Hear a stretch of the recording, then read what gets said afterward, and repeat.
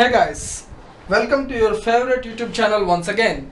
Today I'm going to explain you about an interesting electronic device and the most powerful one which we are using nowadays that is about an op amp. This op amp is abbreviated as operational amplifier. It is an IC package that uses external feedback circuit to control its function and it looks like this. But inside this op amp you will find a big circuit constructed by using transistors, resistors, capacitors and a diode etc. And the circuit looks like this. It really looks mess right? Don't worry, the interesting thing about this op amp is that you can construct various wonderful circuits before understanding the actual configuration of this circuit and by simply understanding the external circuit constructed around this op amp IC. This is cool, right? Okay, but right now you need not to understand and there is no need to understand this big circuit to construct various wonderful circuits but as an electronic engineer it is your duty to understand how this figure is working out. Don't worry in my future class i'm going to explain very clearly about these blocks and about the functioning of this circuit. Now before understanding what is an op amp you should get a clear idea about an amplifier an amplifier is a simple electronic device which increases strength of the signal.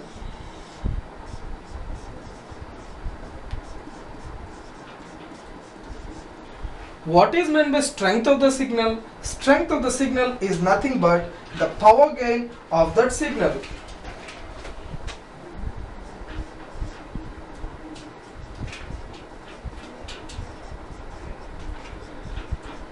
Where a transformer cannot do.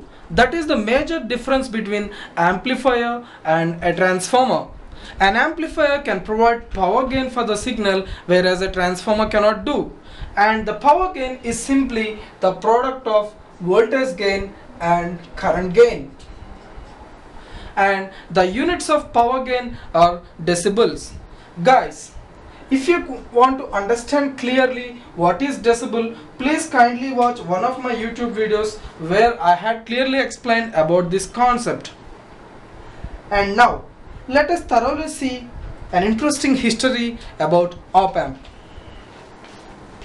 After the invention of transistor in 1948, July 1st, Jack Kilby developed first IC in 1958 while he was working with Fairchild and Bob Widlar one of my favorites and a greatest genius uh, in analog electronics designed first op amp in 1964 and he came up with an op amp package named IC702 whose AOL is almost all thousand. It is greatest invention at its time. And what is AOL guys? If you take an op amp and without considering the external feedback or external circuit of this op amp, then the op amp is said to be in open loop mode.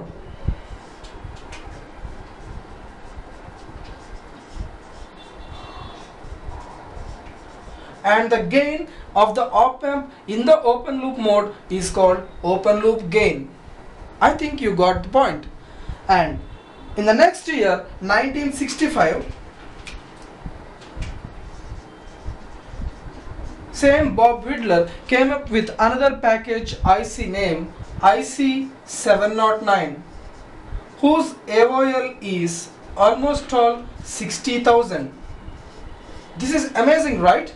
But the the major disadvantage of this IC package is it is having lack of short circuit protection.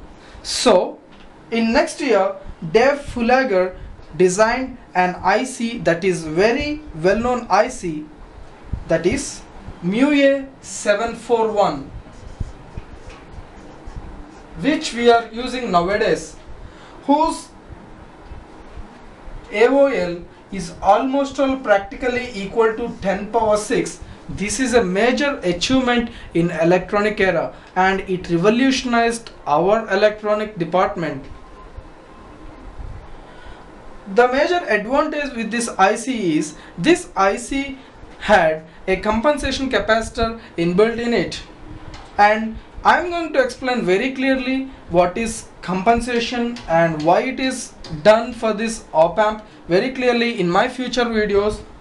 But now let me give a small introduction about compensation capacitor. This capacitor allows the op amp that is MUA 741 to be used without any external circuitry. Okay guys now let us clearly see what is an op amp generally an op amp is a direct coupled high gain differential amplifier. What is meant by direct coupling? If you consider an amplifier and the output of first stage of this amplifier is coupled as input to the second stage of the same amplifier then the amplifier is said to be directly coupled. So I think you got confused right? Don't worry. We are going to explain very clearly in my future in future videos. So now what is the use of this one? It permits only signals who are having zero frequency. That are nothing but DC and next high gain. As I said earlier the practical open loop gain of this op amp is almost all 10 power 6 that is very high. And how it is got we I am going to explain within no time. And differential amplifier. Why differential amplifier? Guys, let us see the schematic diagram of an op amp.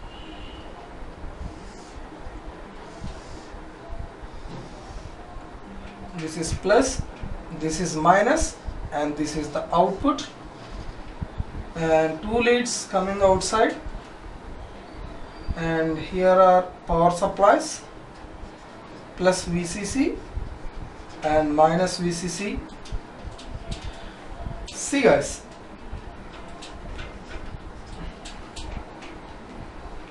The positive terminal of this op amp is called non-inverting terminal or voltage summing node.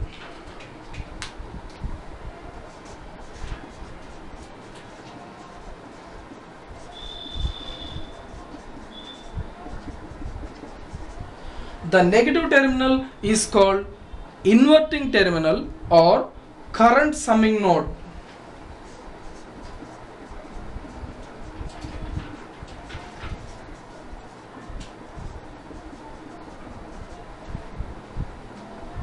And the interesting thing about this op amp is its output is defined as the product of the open loop gain into differential voltage.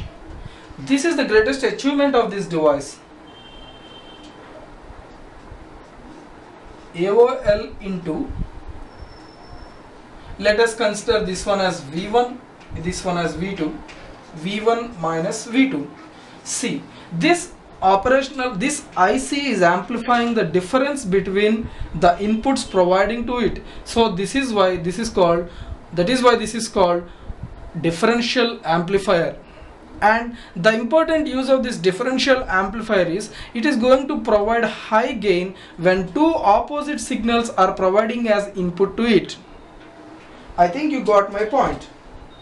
Now let us see the input the transfer characteristics of this device transfer characteristics are nothing but it's a graphical representation between input and output of any device. So for this device if you consider transfer characteristics it is like this it is a graphical rep representation between VD that is difference voltage and V out. And the graph is like this.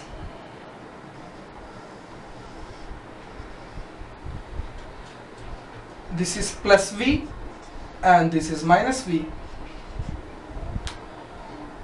Guys have a glance.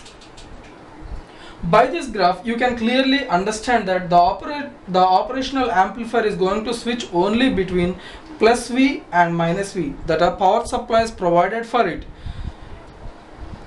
To solve any operational amplifier any amplifier problem first point you have to keep in mind that the output of any amplifier should be between the power supplies what you are providing. That is it should not excite the power supplies. So these voltages plus V and minus V are called saturation voltages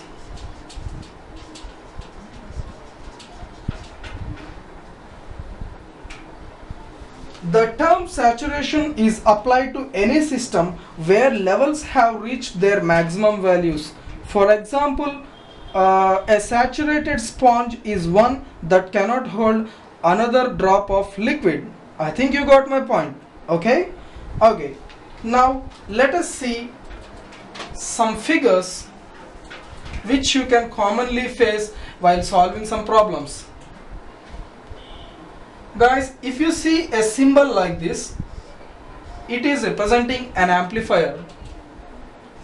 If you see a symbol like this it is repre representing an amplifier with an open loop gain of 100 and if you see a symbol like this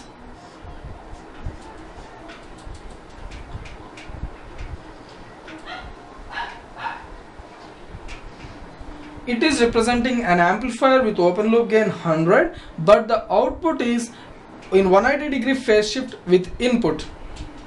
These are very important concepts you have to keep in mind. Now what happens if you give input which is much more greater than power supplies? Let us take a common voltage like this. Let it be 5 volt and you had provided the power supply voltage as minus, uh, 1 volt. And this is the output. If you take if you consider the transfer characteristics of this device it is like this.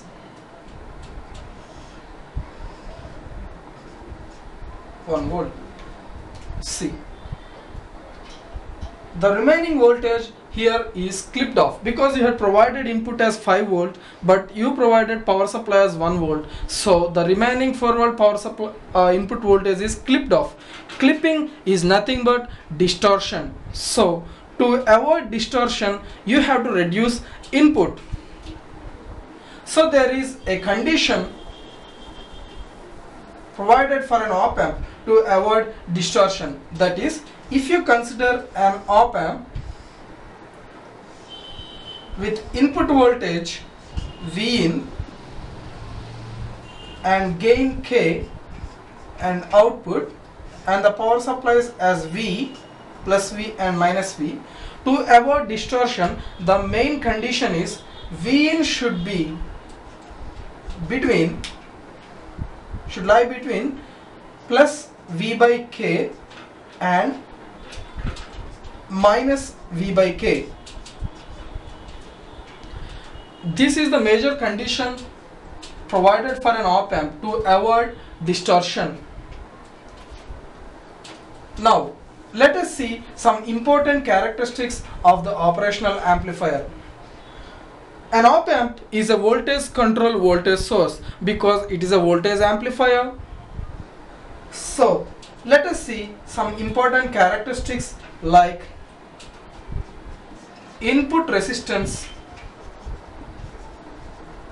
let us consider it as Rin and output resistance it as R naught. And open loop gain and slew rate and bandwidth these are major concepts what you have to see before analyzing the op amp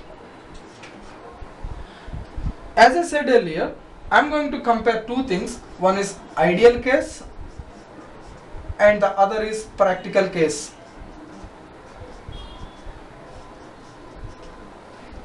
Ideally the input resistance of an op amp is very high that is almost all infinite ohm but practically it is 1 giga ohm this is very high and output resistance of an op amp is 0 ohm and practically it is 0.2 ohm guys if you observe these values you can clearly conclude that it is proving my statement that is an op amp is a voltage control voltage source I think you got my point. Okay. Gain. As I said earlier, practically its value is very high, that is infinite ohm, but practically 10 power 6. I'm sorry, 10 power 6. And slew rate. Guys, I'm going to tell you very clearly about slew rate in future class. But now, let me give a small introduction about slew rate. The slew rate of an op amp is very high, that is infinite and practically it is 100 volt per microsecond see this value volt per microsecond is representing it is telling us that the op amp is going to switch between 0 to 100 volt within 1 microsecond that much fast it is going to switch between 0 to 100 volt which we cannot see with our naked eye. So bandwidth. The bandwidth of an op amp is infinite and practically it is 10 radian per second. So guys, in order to increase bandwidth, you should reduce gain. This is an interesting concept in operational amplifier. In order to increase bandwidth you should reduce gain this is not in our hand but this is in our hand. How to reduce gain? So if you provide negative feedback to the op amp it will definitely reduce gain. So bandwidth increases. So this is an interesting concept in operational amplifier and it revolutionized our electronic era. Guys, now let us see the practical and ideal equivalent models of an op amp. It is very simple.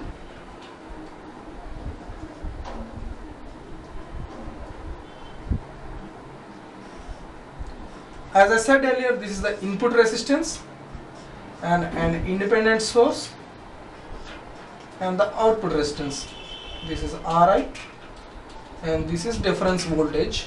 So this as I said earlier this is the input resistance output resistance. This is the practical case. Now let us see ideal case. As I said earlier in ideal case the input resistance is very high that is open tip and